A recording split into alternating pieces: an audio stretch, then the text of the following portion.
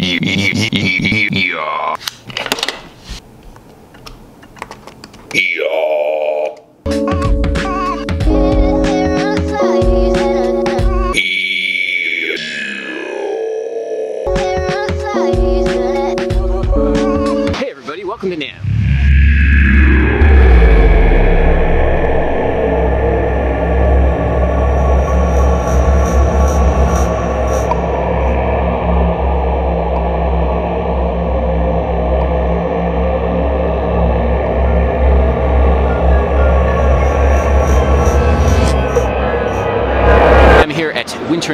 The National Association of Music Merchants convention for winter of 2018. I'm here with my buddy Elliot. Say hi, Elliot.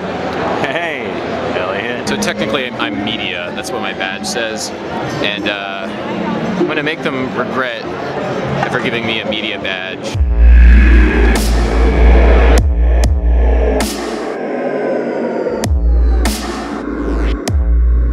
That doesn't make sense. They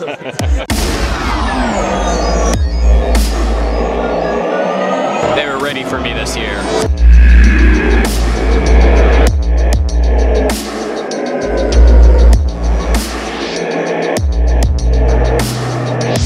Like for instance, posting on YouTube. Lord! Thank God that this year, Hal Leonard has every real book available. We have the Real Jazz Solos book. So if you want to play real jazz solos, you can buy this book.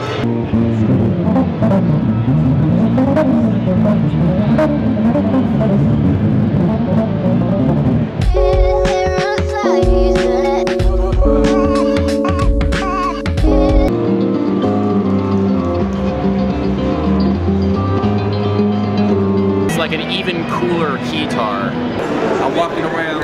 Look, I'm getting out to the cabin. By the way, vlogging is exactly that awkward. I don't know what to do with my hands.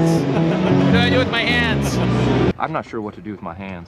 Uh, be good just to hold them down by your side. Yeah, great.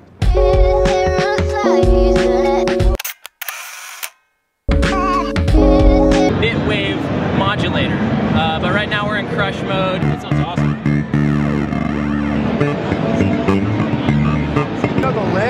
I do know the Hey, Ibanez, you spelled my name wrong. Pictured here is me with my bass.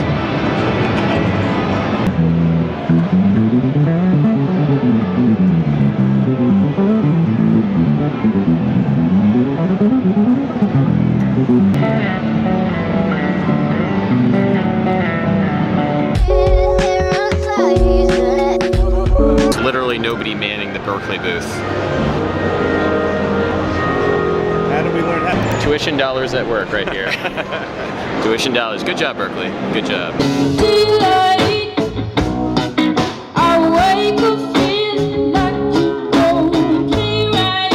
The memes have followed me to California. Order for Adam! Thank you.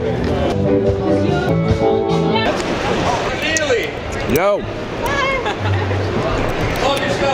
Thanks, man.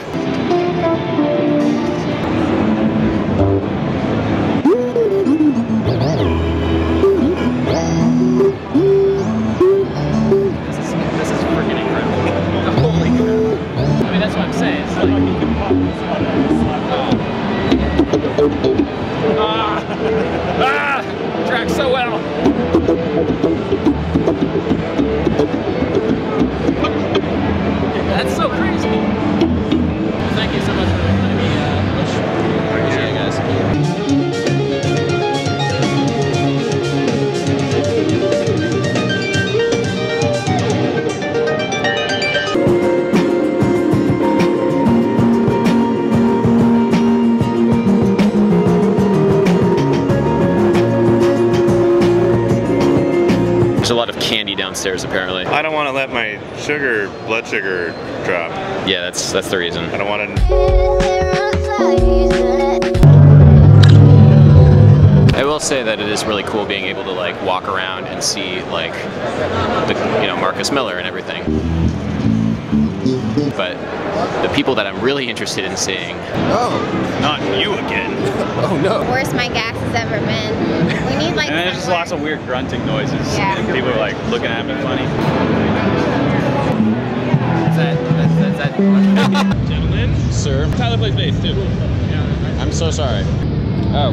Glenn, the homeless looking guy? not a good thing. Remember at convention centers, uh, go to the hotel next door and uh, there'll be a bathroom that is a lot nicer to poop in. Yeah, don't blow up our spot, please. We're not telling you which hotel we just pooped in. Any hotel. Really doesn't matter. Okay, so that was my official coverage of NAMM 2018. I have now officially done my job as a journalist. So there we go. I suppose I should say like what trends I saw. I mean, there's a ton of pedal manufacturers that are doing cool things, as usual, trying to expand what pedals can mean and what you can do creatively in the confines of a guitar pedal. I mean, there's also like a bunch of Chinese manufacturers. That's gonna be a thing that just continues to grow in the years to come. But the thing that kind of like stuck with me the most was something that a friend of mine said over a drink. She works in marketing for iZotope, which is a plug-in company. They do like Ozone and RX and all that stuff. And she said that the music industry is 10 to 15 years behind the consumer electronics industry. So all of the nascent technology like say VR and augmented reality and maybe things like machine learning and like deep learning, all that good stuff, that's not represented in the music industry at all and won't be for another decade. People wielding technology in the music industry are weirdly obsessed with trying to replicate analog circuits from the 1960s and 1970s using digital DSP technology, and they have been for a while now, rather than looking to the future and seeing what we can use with new technologies from consumer electronics and try and apply it to music making. There are companies which are looking forward for sure. I mean, iZotope is one. My friend is completely biased in saying that, of course, but there are other companies like, say, Ableton. I was able to check out like a private closed door session where they were demoing different like features from Live 10, and that was really, really cool.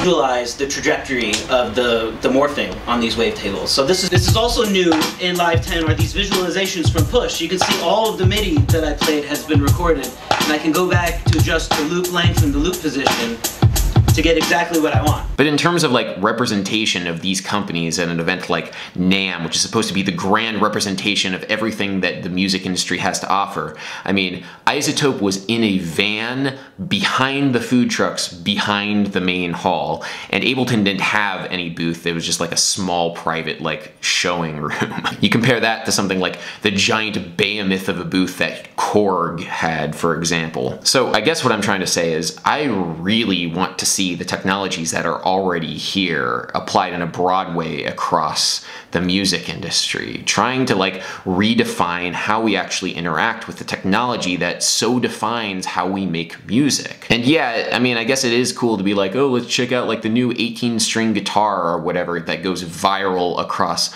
all social media platforms, but that's not really moving the industry forward. We can do better than this, guys. We definitely can. And uh, yeah, that is my true critique. That is my true reporting on NAMM. Um, see you next year.